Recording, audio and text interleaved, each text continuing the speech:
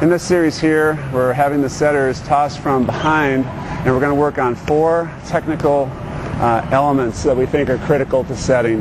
The first one is taking their hips and dropping their hips down, and then weight transferring from their left foot to their right foot. At the same time, the setter is working on that. She's also working on timing the rotation of her turn um, so that she is very close to square uh, and then finishing squaring as she um, delivers the ball.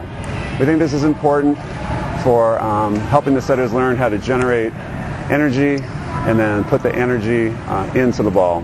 So we're trying, we're combining a couple different things here with this, um, with this move.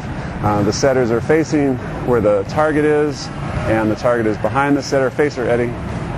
And then they're rotating around, trying to time the rotation of their turn and then at the same time controlling their weight so they drop their hips a little bit and then um, weight transfer from left to right. A little lower hips, Rachel. Exaggerate it a little bit. Exaggerate your hips a little bit. Drop down into it. So the setters are working on generating some good um, power uh, and then getting that power into the ball. In the next series here, now we'll reach up for flex and set. We're going to have the setters reach straight up and uh, this is going to give a really neutral look uh, to the blockers and then from this extended position the setters are going to flex four points. Going to flex at their wrists, they're going to flex at their elbows, they're going to flex at their hips, and they're going to flex at their knees and uh, then deliver the ball. Make sure you sit down a little bit with your hips too. There you go.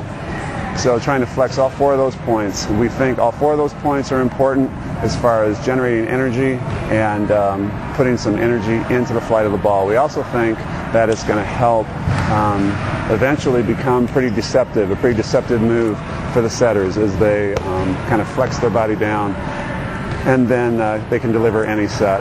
So this is the second in our series of four um, key techniques that we think are going to be important for the setters. Uh, we like to exaggerate this. We don't necessarily set with this really extended position, but in this drill we like to exaggerate it. Really exaggerate, Rachel, especially your wrists, okay? So we're going to reach straight up. There we go. Going to reach straight up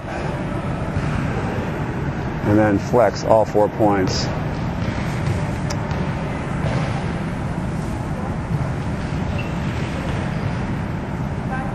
Like I said earlier, flexing at the wrists, flexing at the elbows, uh, slight flex in the hips, and then also slight flex in the knees. So the third move in our series is uh, what we call set and return. There you go. And here's where the setters um, deliver the set, and then they quickly bring their hands back to um, where they touch the ball. We think that this helps the setters learn how to get the ball out of their hands quickly it also helps young setters learn how to keep their hand position um, more disciplined as they strike through the ball. Um, we believe that a very disciplined hand position is going to help the ball fly more consistently and more accurately. So this is one of the moves that we use to help teach all of our setters um, how to keep their hand position um, very disciplined. And as you can see, uh, bring them back quicker, Eddie.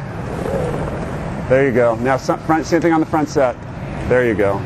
So um, it's not, this is not the way we set the ball, but it is a training move that we use to help the setters learn how to get the ball out of their hands really quickly. Good.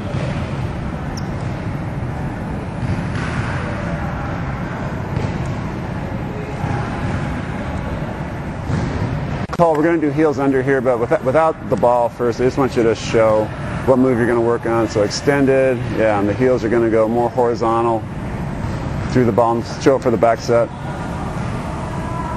Okay, one more time on the back set. Okay, now without returning our hands, we want the ball to come out of your hands as quickly as it felt like it was on the set and return. But now you're going to key, key on your heels going under the ball, okay? Good. So without returning their hands um, to the contact point, We've got the setters trying to get the ball out of their hands just as quickly as they did in the series before, but now they're keen on what the heels of their hands are doing. Heels of the hands um, coming horizontally under the ball slightly, um, and they're trying to get the ball out of their hands as quickly as they did when the uh, with the previous move, the set and return move. Set your hips down a little bit. Still get a good weight transfer. There you go. So as we build on each element, um, we want to try and get the setters to progress through this four move series, uh, retaining each move from the move before. So we still like their hips to drop slightly, still like a good weight transfer left to right, uh, like the delivery to be very quick, and we like the heels to, to stroke slightly under the ball. Very good, Eddie. So key on your heels. Nice. Very good. That's it. It's good.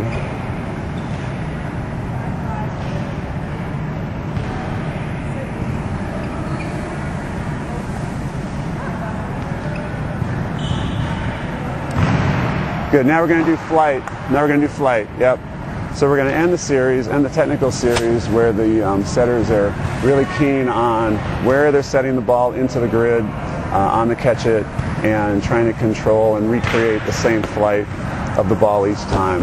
So we went through our four key technical points um, to remind them and to train them as to how we want to deliver the ball. And now they're trying to keep all four of those points, use all four of those points, but key on accuracy with their delivery and flight control.